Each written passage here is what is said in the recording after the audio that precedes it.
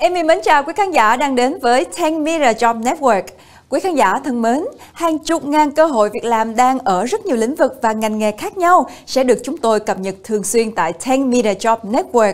Và ngày hôm nay, 10 Media Job Network sẽ đem đến cho các bạn những thông tin về cơ hội việc làm hấp dẫn như thế nào. Các bạn hãy cùng theo dõi nhé.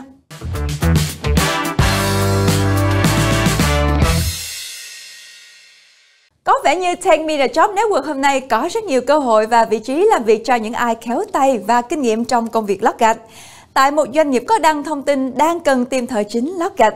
Ở nơi này, bạn có thể tự tin ứng tuyển mà không cần phải lo lắng, bởi vì tại đây bạn sẽ được huấn luyện và hướng dẫn tận tình nếu chưa có kinh nghiệm. Chỉ cần siêng năng, cần cù thì chỉ trong một thời gian rất ngắn, bạn đã có thể trở thành một người thợ làm nghề. Một môi trường làm việc lý tưởng đem đến thu nhập hàng tháng đang chờ đợi bạn.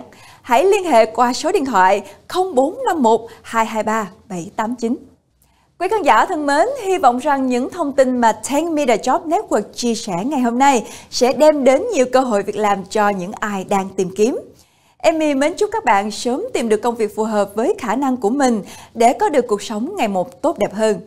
Trong thời gian này, những thông tin của 10 Media Job Network, chúng tôi sẽ đăng thông tin tuyển dụng miễn phí cho các doanh nghiệp và cơ sở đang cần tìm nhân sự.